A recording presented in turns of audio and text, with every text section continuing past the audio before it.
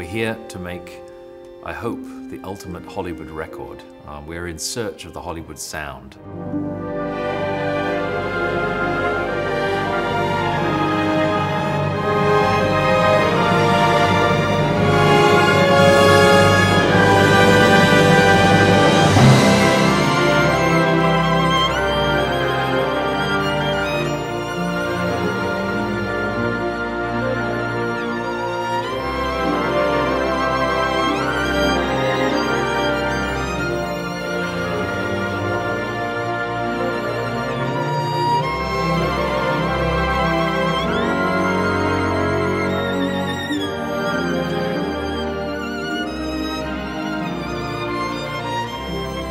Many of these musicians were forced out of Europe by the Nazis in the 30s, and some emigrated to California, where they saw this challenge to take up the composition of film music.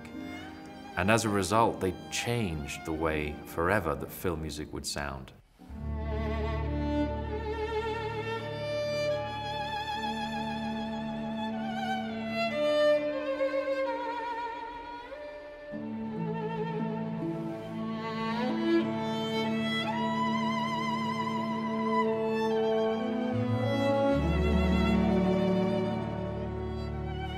I think the first time I heard the Heifetz recording of the Korngold, I was probably about six years old. And I remember just almost laughing because it was so delicious. It was like falling into the most beautiful meringue pie.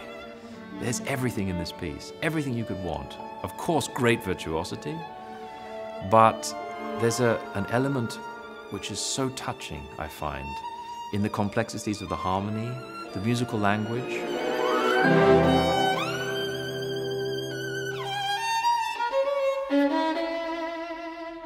Film music sounds like Korngold because he was the one that actually created this sound world.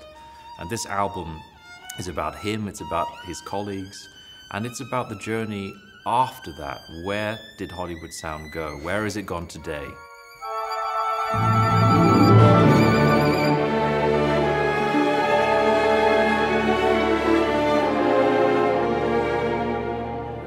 For this album, we had, in a sense, a kind of agony of choice because when you look at the exile composers, there is a group of those composers that fit into that mold. But for me, it was more important to try and find a line starting from The Snowman of Korngold up to the present day.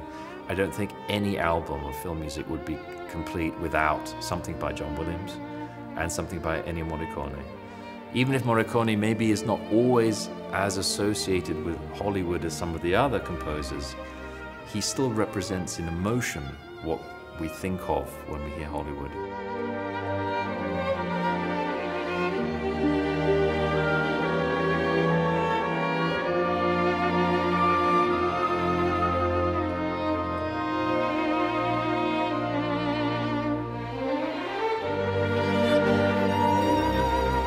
If I had to describe this album in three words, I mean, I would have to say lavish, because lavish is the sound that we are trying to get, and I hope we've got.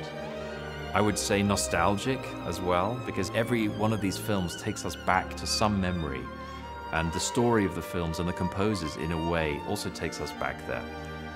And then the other word, of course, is Hollywood.